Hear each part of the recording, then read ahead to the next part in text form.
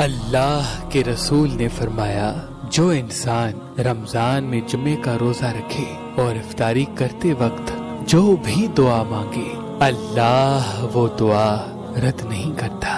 इमाम अली सलाम ने फरमाया, जो इंसान जुम्मे का रोजा रखे तो जब तक वो रोजा खोलता नहीं, फरिश्ते उसके लिए अस्तगफार पढ़ते रहते हैं। यहाँ तक कि जब वो रोजा खोलता है तो उसके सारे गुनाह अल्लाह माफ़ कर देता है।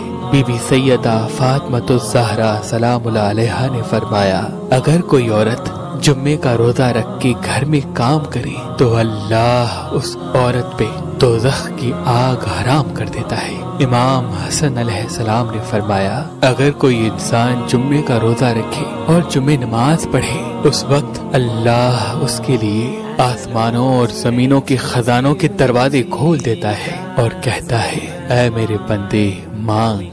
क्या माँगता है? इमाम हुसैन सलाम ने फरमाया, अगर कोई इंसान रमज़ान में जुम्मे का रोजा रखे और रिस्क के हिलाल कमाने के लिए जाए तो फरिश्ते उसके कदम चूमते हैं और अल्लाह उसके पसीने की एक एक बूंद के बदले जन्नत में उसका मुकाम बढ़ाता रहता है।